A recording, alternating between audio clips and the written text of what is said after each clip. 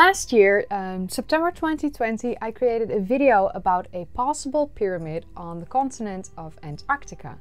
And in that video, I looked into the possible theories pointing towards that being a pyramid, and I looked into the scientific explanation as to why it's not a pyramid as well. So today we're going to do something similar. So, for a while now, I've been seeing these Facebook posts and I've had people send me messages about a possible massive pyramid in the Peruvian Amazon rainforest. And people claim that it's a pyramid and that it's an artificial man made structure. If it is an artificial man made structure, that would make it possibly the biggest pyramid on the planet because um, it's approximately three times higher than the Great Pyramid at Giza, which is already insanely high, so that's crazy. My name is Kayleigh, and today we're going to look into the claims made by various people about this being a possible pyramid, and we're also going to look into the counter arguments. Yeah, join me. Along the Peruvian border with Brazil, there's an area known as Sierra del Divisor. This region became a national park in November of 2015 after more than 20 years of Peruvians fighting for the protection of this land. This region is unique in the fact that it's the only mountainous region anywhere in the lowland rainforest.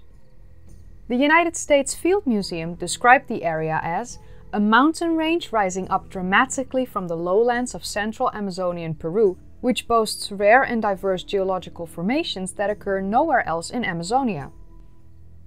Deep in the Amazonian rainforest, there are tribes in this region that we have not yet contacted, which will probably stay that way if we're smart. Uh, they are known as the Matses, whom we have contacted, at least a few, and the Isconahua Indians. And it's probably best we leave them alone and just let them do their thing. Their homeland stretches from Peru to Brazil, and the area of Sierra del Divisor is known to them as the Watershed Mountains. As far as we know, there are at least 21 different indigenous tribes living in this area, and they inhabit approximately 42 settlements. But all of this could be a lot more. As I mentioned, there are still uncontacted tribes and areas we have never been exploring, so a lot of question marks when it comes to that, but approximately that. The most unique feature of this entire landscape is the massive El Cono peak, which is even visible on a clear day from the Andes. To the ancient inhabitants of this region, and possibly even the current inhabitants that live there, this massive, extraordinary peak is known as an Andean Apu. An Apu in the ancient religions and mythology of Peru, Bolivia, and Ecuador are the spirits of the mountains. Sometimes they even have anthropomorphic characteristics and they're the protectors of the inhabitants in the area. So, the reason as to why a lot of people think that this is a pyramid is, of course, the shape, which, I mean, that's self explanatory, I think. And then there's the fact that this entire region is mostly unexplored and not researched at all. It's incredibly difficult to access this region, and therefore, it is mostly unexplored and unknown to the researchers. But that makes people wonder and question could this strange, symmetrically shaped mountain actually be a pyramid? To me, besides the shape and the fact that this region is unexplored, I see no evidence pointing to this being an actual pyramid. I don't see any evidence pointing to this being man made, being artificial. I just see a mountain. But, I mean, that's my personal opinion. We might differ from that, and that's okay. So, in my messages and on Facebook, the biggest argument that I've seen that tries to claim that this is an artificial structure made by men is the fact that it's the only high peak in the immediate area. The surroundings of this area are low volcanic mountains, and people therefore claim that this can't possibly be a dormant volcano.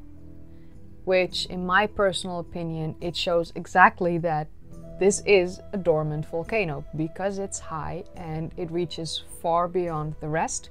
So, if any of these volcanoes in this mountainous region will burst, it's probably El Cono. The counter argument that I've seen the most used by people is the fact that it's impossible for this to be a pyramid because of its height.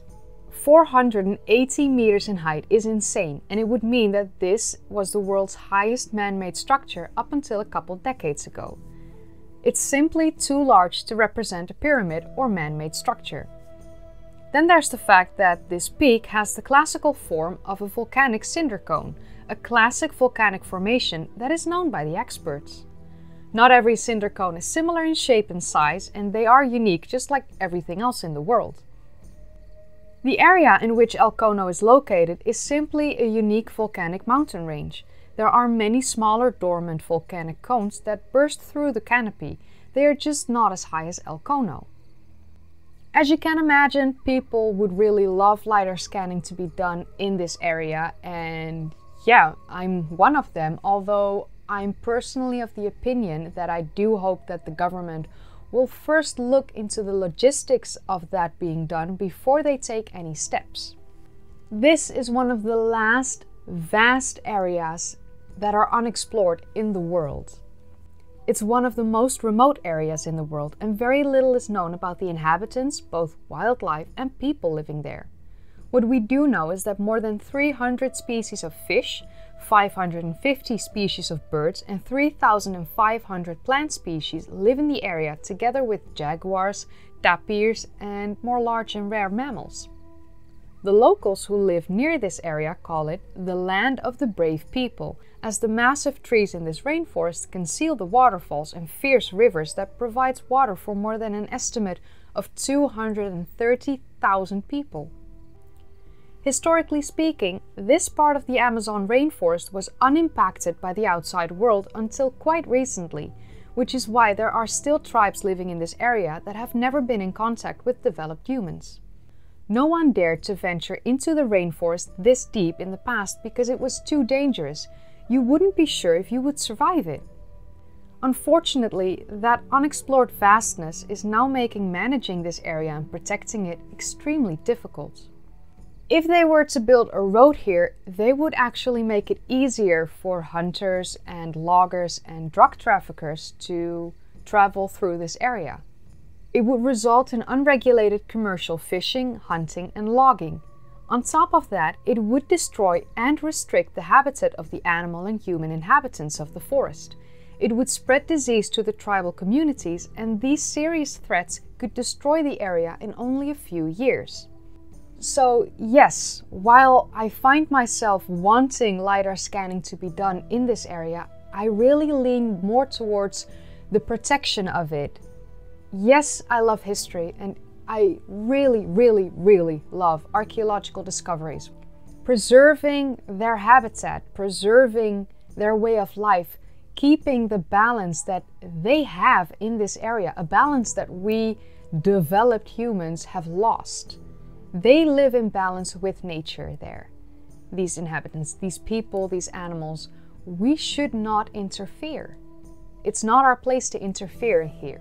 I really am of the belief of that. But even then, if we find anything on a LiDAR scan, we want to go there and research it on the ground, which is an issue because to travel there, you would need roads. And for road building, I mean, it, it, it would destroy what currently is, which in my opinion is not needed. Sometimes it's better to not know what could be than to find out and eventually regret that decision. Not interfering with these tribal communities is, in my personal opinion, the best way to go forward. We would only spread disease and threaten their way of life and the balance that they've kept for thousands of years. I'm not sure how long they've been there we will never know. So, yeah. And then again, I personally really lean towards this peak being a dormant volcano and not a artificial man-made structure. But that is my opinion. You are allowed to have your own opinion. I will always keep that open. This is an open minded conversation about what could be and not what is, because sometimes I do that. And you can make up your own mind what you believe. If you enjoyed watching, then don't forget to give it a thumbs up, subscribe if you'd like to see more of these kind of videos, and click that bell icon if you want to be notified every time I upload.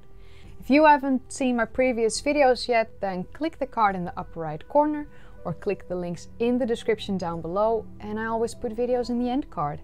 I would also like to say a massive, massive thank you to everyone supporting me from all the tiers and I only read the highest two tiers out loud from Patreon and my members. So thank you Floyd, Barry, Vaughn, Jeff Henderson, DJ, Klaus Jepson, Ricky, Ira Whiteside, Malius Flavos, Tom Barkwell, Dibbler666, Timothy P. Smith, Robert Brown, Elva Coburg, Miches Porsches, and Gerald Lamontan.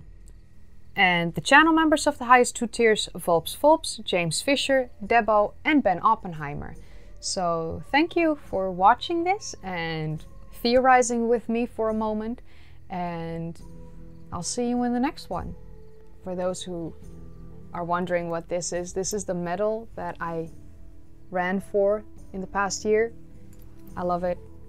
I recently unpacked it and uh, yeah, I've been playing with it way too much. It's heavy and I like it. Go run for a medal whenever you want.